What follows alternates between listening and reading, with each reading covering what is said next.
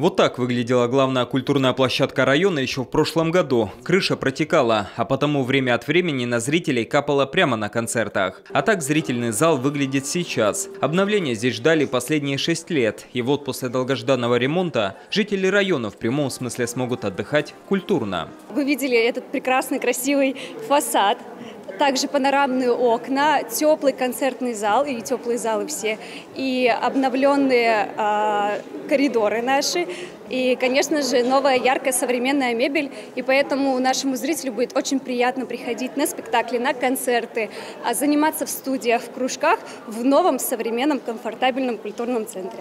Дом культуры, как и театры, начинается с вешалки. Гостей встречает обновленный гардероб и фойе с новой мебелью. Преобразился и так называемый зеркальный зал. Это место проведения всех детских утренников и площадка для репетиций танцевальных коллективов. Сегодня в Храме культуры настоящий аншлаг. Все билеты на открытие были выкуплены заранее. Конечно, по родной сцене соскучились не только зрители, но и работники ДК. Это полный восторг, это восхищение, это радость, потому что мы работаем в новых условиях, в обновленном Доме культуры. Это радость прежде всего и для зрителей, и для жителей села Выльгард, и для всего Сыктывдинского района, ну и, разумеется, для нас, работников э, Дома культуры.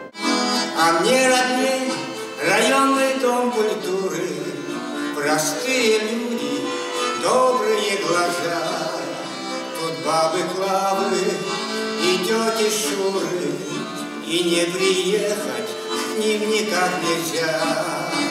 Сегодня здесь трудятся 22 клубных объединения. Пять из них имеют высокое звание «Народный». Все коллективы успешно представляют район на фестивалях и конкурсах различного уровня. И это о многом говорит. По словам главы Коми, местный ДК остается одним из ведущих социокультурных учреждений Сыктывдинского района. Районный дом культуры – это не просто здание, куда приходят вот, зрители и смотрят Э, какие-то постановки, это еще ведь и методический центр. Методический центр для всех домов культуры, клубов, э, муниципалитета. И э, здесь проходит не только выступления артистов, здесь проходят семинары, совещания, мастер-классы, творческие школы. Это тоже очень важно.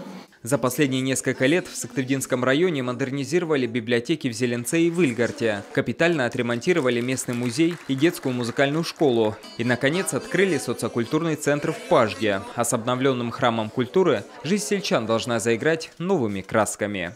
Павел Королев, Дмитрий Ведерников, телеканал Юрган, Сыктывдинский район.